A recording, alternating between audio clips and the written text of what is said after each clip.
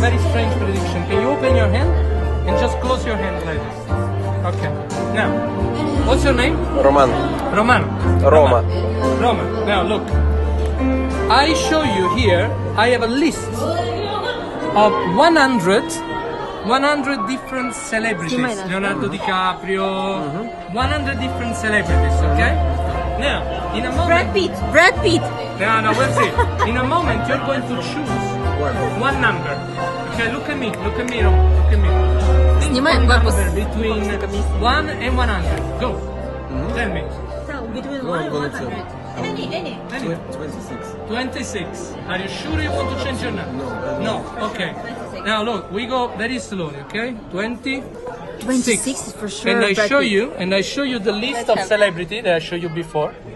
26, which is uh, Johnny Depp. right? Oh no. And now, if you say 20 days, his choice, you know.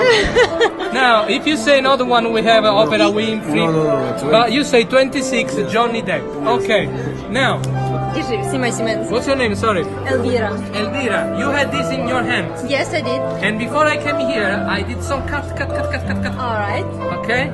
Now you can tell any number, but you say 26. Look. Ladies, and if this will work, let me hear your applause very strong. Alright, alright. Okay, look, look, ladies and gentlemen.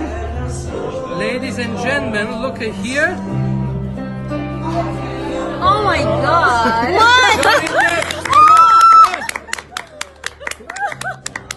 And this, Elvira, is a souvenir for you and for you.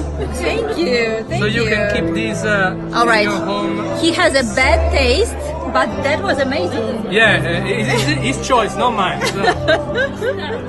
Uh, voilà. That's for you. Wow, fantastic. Thank you. Thank you. That was great. Thank you. Later we're going to do some